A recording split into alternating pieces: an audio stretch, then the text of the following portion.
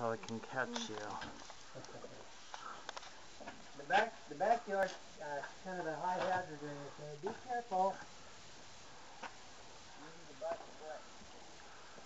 Yeah, that wouldn't work. The water system is collected from off of the roof, comes down to uh, a system where one goes in, and when the tanks in the basement get filled, other one comes out and goes back into the drain, so that there's never an overflow issue. And this is the filtration system, one of the parts of the filtration system to keep it off drain. Real easy to change, real easy. And this over here is all the wood uh, that is, is available to burn now, and there'll be more than that as the winter goes on. And it slides right down into the basement and you shoot down to where the wood burner is. Real cool, real cool. We can bring the pickup truck back through the gate that we installed over here. It comes right back into uh, where the wood goes into the house to be burned. Hi, John. How are you? Good. Hey, John. I see you're working on the uh, ceiling of the house. That's great. Hi, Mark. You ought to be pictures. Wah-wah. Yeah. Hey. We're making movies today. Yeah, you getting some stuff done? I have lights. The solar system is actually up and running and giving light. Yay! I gotta see.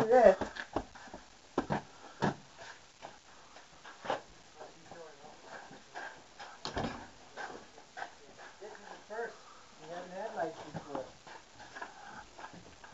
Go that way, he'll have them ready. I'll go Okay. turn it on.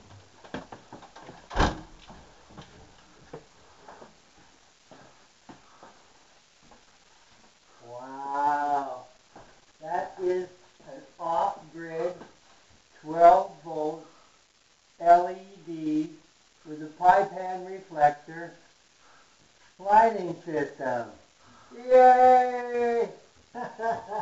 Cool.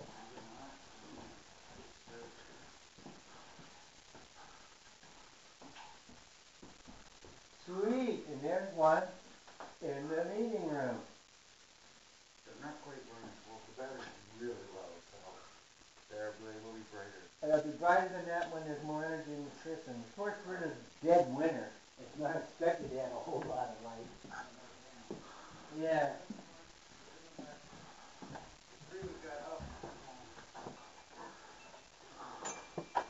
This is my favorite room.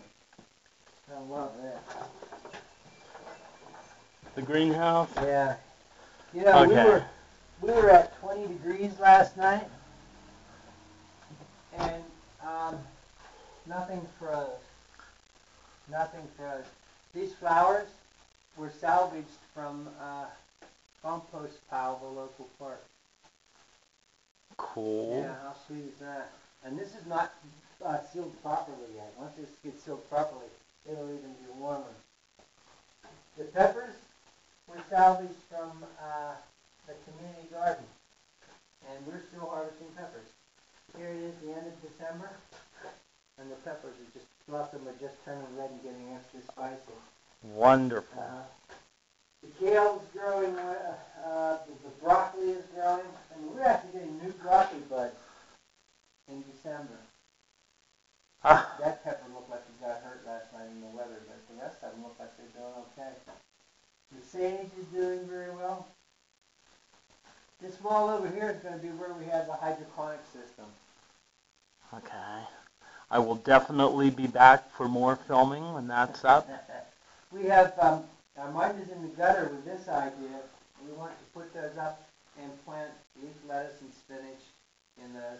And we're going to wait until the weather gets a little better to do that. How about these pots right here? That, those are filled with water, and when the sun is really cooking, they get um, they heat up really nicely. And then at night, they release their heat. It moderates the temperature in the greenhouse. Eventually, the, the thermal mass will be all black and all sand. But right now, we just threw some stuff in here quickly, so we had it.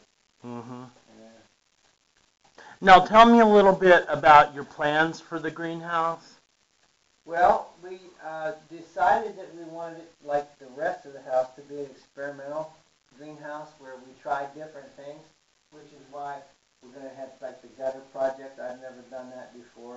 Other people have, and they say it'll work. We're going to have uh, a hydroponic system on the one wall, and it's going to function off-grid with 12 volt. And um, the food that we grow will be basically um, feeding the people who are living here and um, giving to people who um, who need food and sharing some of it with anybody who comes in and works for us, do some things. And um, we'll supplement it from other food with other food sources as well, so there'll be a turnover of food of things coming in and going out from the greenhouse. Um, All organic, right? All organic and all year round. Um, Fantastic. yeah, and um, we've, we've scrounged almost everything.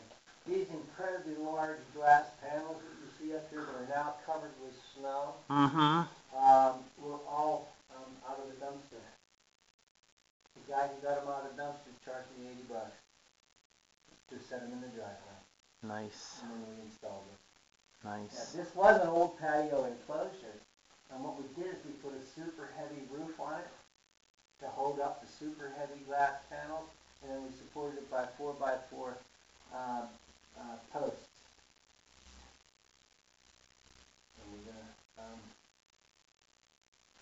Now, tell me a little bit about where the idea for the house came from. well, uh, it's kind of like I wanted to do something um, salvaging houses in Youngstown and rehabilitating some houses in the world. Uh, and, and so and I wanted a place where Occupy could be without uh, being part of any corporate structure. And so we're actually going to be able to have Occupy meetings here. It won't be affiliated with any of the exi- existing um, Occupies. It'll be our own Occupy where we can set uh, standards for living that are congruent with our anti-corporate perspective. The folks here doing this project are very much anti-corporation.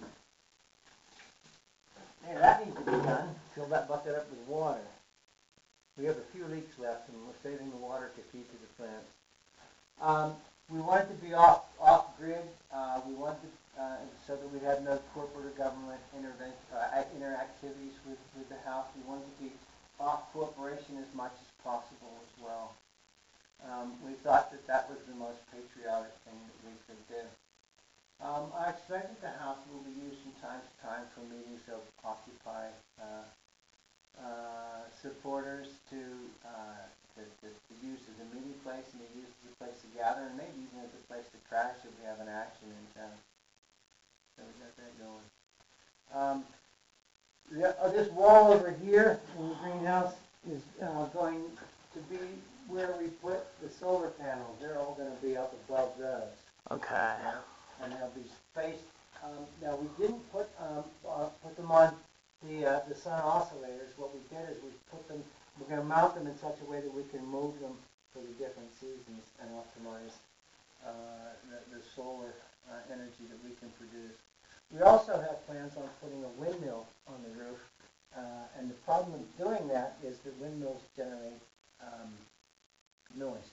Mm-hmm. And Mark, the genius that he has designed one that's silent on the outside, and, and the only thing that makes noise will be the generator, which will be on the inside, in the attic, in an insulated area, without much noise at all. So we're gonna actually, put may be the first time anybody's created a windmill that can actually meet the noise code of the city. How sweet is that? A new invention.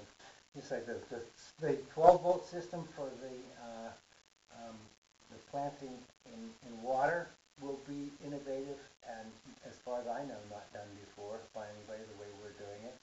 Um, the recycled everything, um, is a pretty rare phenomenon for building greenhouses.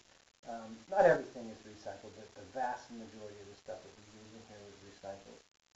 Um, we've got, uh, the space in the backyard that you going to expand, and we're going to put extra stuff back there too. We don't know exactly what, so I guess I shouldn't go into too much detail. Um, that's the greenhouse. That's what the greenhouse is about. Okay, fantastic. I'm gonna wrap this one up.